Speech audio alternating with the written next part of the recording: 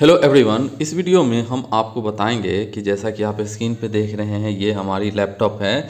इस लैपटॉप का स्क्रीन का ब्राइटनेस को कैसे कम करेंगे या ज़्यादा करेंगे तो इसी चीज़ को इस वीडियो में हम आपको बताएँगे। तो सबसे पहले आप क्या करेंगे कि यहाँ आप देख रहे हैं ये विंडो तो इस मीनू बार में हम जाएँगे और जाने के बाद यहाँ हम चले जाएँगे आ, सेटिंग में।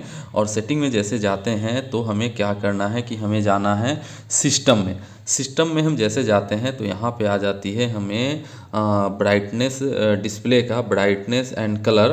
तो यहाँ से आप अपने लैपटॉप का ब्राइटनेस को कम ज़्यादा और कलर को भी आप यहाँ से कम ज़्यादा तो चलिए हम अभी आपको बताते हैं ऑन स्क्रीन जैसे ये देखिए हमने किस तरह से हम फिर से ऊपर करके हम देखिए, ये फुल ब्राइटनेस है।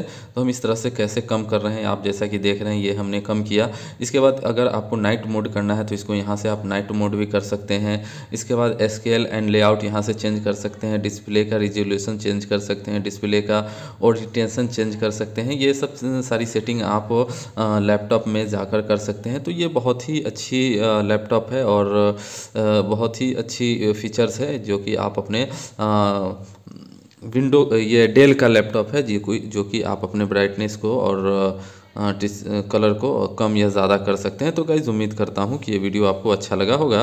अगर ये वीडियो आपको अच्छा लगे तो इस चैनल को सब्सक्राइब करें और इस वीडियो को लाइक करें ताकि इस तरह की और भी वीडियो हम आप लोगों के लिए लेकर आते रहें। तो गाइज़ फिर मिलते हैं नेक्स्ट वीडियो में। तब तक के लिए गाइज़ बाबा टेक केयर।